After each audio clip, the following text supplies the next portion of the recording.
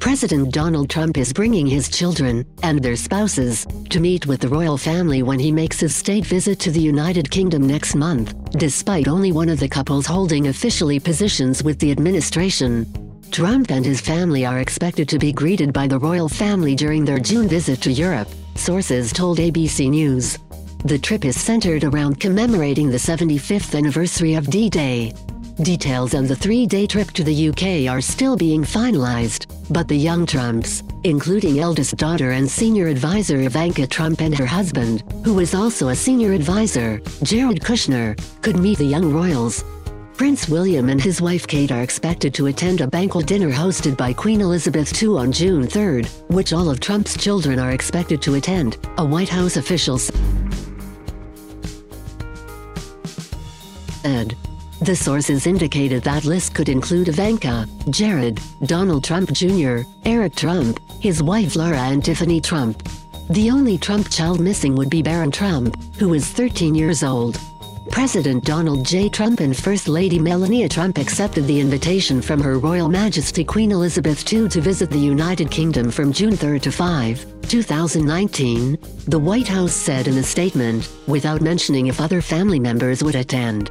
This state visit will reaffirm the steadfast and special relationship between the United States and the United Kingdom, the statement continued. A Buckingham Palace spokesman said they would not comment on the traveling delegation and that it was a matter for the White House. The White House is still discussing a final schedule with Buckingham Palace. Trump and First Lady Melania had tea with Queen Elizabeth at Windsor Castle during his official visit to the UK last July. It is expected that the Queen's heir Prince Charles and his wife Camilla will meet the president for the first time in inviting the Trumps for tea during this trip next month, the sources said. Previously, Queen Elizabeth II has also hosted two other U.S. presidents, George W. Bush and First Lady Laura Bush in November 2003 and President Barack Obama and First Lady Michelle Obama in May 2011. In addition to visiting France and England for his official trip, Trump has also scheduled a stop in Ireland to golf at Trump International Golf Links in Hotel Doonbeg, Ireland. While there, Trump will also meet with Irish Prime Minister Leo Varadkar in Shannon, Ireland, which is just a few dozen mile trip by air to his resort on the eastern coast of the European country.